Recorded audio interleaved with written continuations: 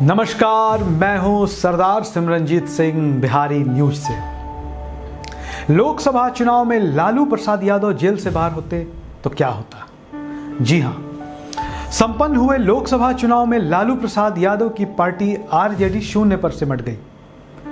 राष्ट्रीय जनता दल की स्थापना उन्नीस में सामाजिक न्याय और धर्मनिरपेक्षता के विचारों को लेकर हुई थी। तब से लेकर आज तक इस पार्टी ने उतार चढ़ाव के कई दौर देखे। लेकिन पहली बार राजद को इस तरीके के चुनाव परिणामों का सामना करना पड़ा है। अलग अलग लोग अलग अलग समीक्षक इस चुनाव परिणाम के अलग अलग तरीके से विश्लेषण कर रहे हैं। लेकिन इस बात से कोई इनकार नहीं कर सकता कि लालू प्रसाद यादव अगर जेल से बाहर होते तो परिणाम कुछ और ही होता।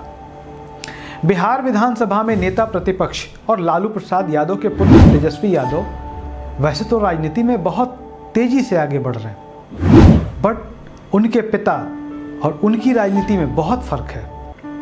अभी तेजस्वी यादव को राजनीति के दांव, पेच और छल कपट बहुत सीखने हैं।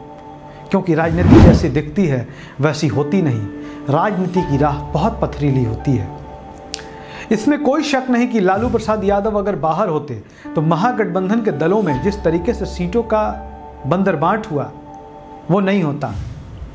बिहार में जिस राजनीतिक दल के पास एक भी विधायक नहीं, उसे लोकसभा की पाँच सीटें तो किसी को तीन सीटें मिल गई।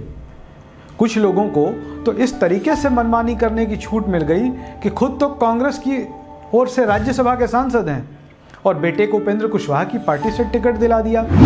मुकेश सहनी जैसे नेताओं को, जिनका अभी राजनीतिक अनुभव शून्य है, उन्हें भी लोकसभा की तीन सीटें दे दी गई। जीतन राम मांझी को भी तीन सीटें मिल गई।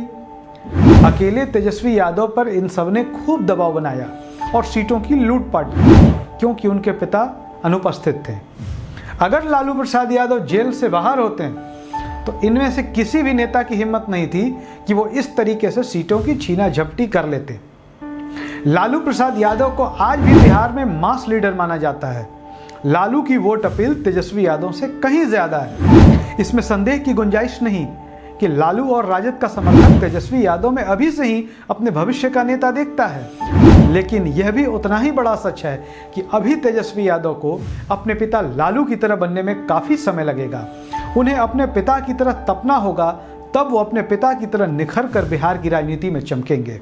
अगर आपको हमारा यह वीडियो पसंद आया हो तो हमारे YouTube चैनल को सब्सक्राइब करें, हमारे इस वीडियो को शेयर करें। अगर आप हमारा यह वीडियो हमारे फेसबुक पेज पर देख रहे हों तो हमारे फेसबुक पेज को लाइक करें, वीडियो को शेयर करें। धन्यवाद।